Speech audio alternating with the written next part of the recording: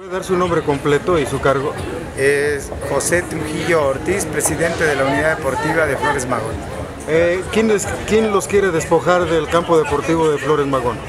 Bueno, hay un particular eh, que se dice dueño, eh, no sé exactamente su nombre, pero se apellida Ortiz y pues bueno, como sabrán ya el día martes eh, nos encontramos con que estaba la policía, la actuaria, por una orden de un juez federal, tercero de distrito creo, algo así, eh, la cual nos notifican que pues tenemos que ser, pues más bien desalojaron todo el bien inmueble de las oficinas.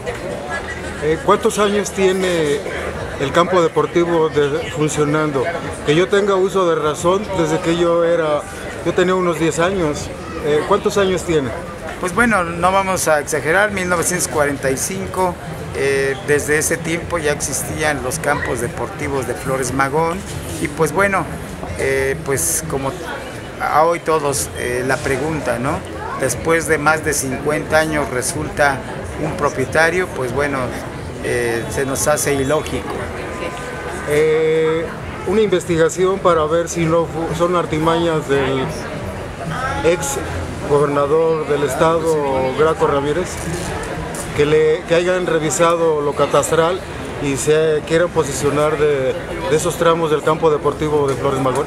Pues de hecho en la resolución que ahí nos mostraron, eh, pues tiene un convenio el gobierno pasado con este particular para ya no seguir eh, peleando este, eh, la unidad deportiva y pues ellos este, firman de conformidad.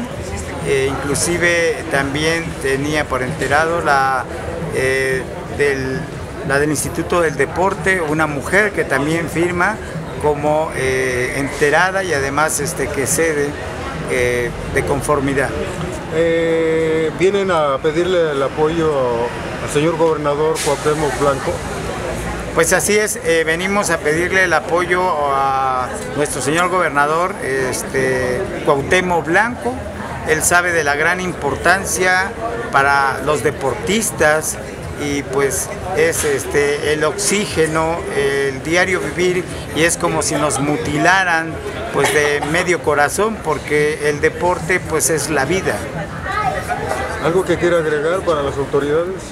Pues bueno, eh, yo eh, agregar para las autoridades es que eh, pues tomen caso en este asunto y lo puedan resolver lo más pronto posible y aclarando en lo personal en cuanto a las manifestaciones que se han dado, no es con eh, tintes ni políticos, no somos ni de partidos, somos colonos este, totalmente y que no venimos a empañar la imagen de ningún funcionario, menos del señor gobernador.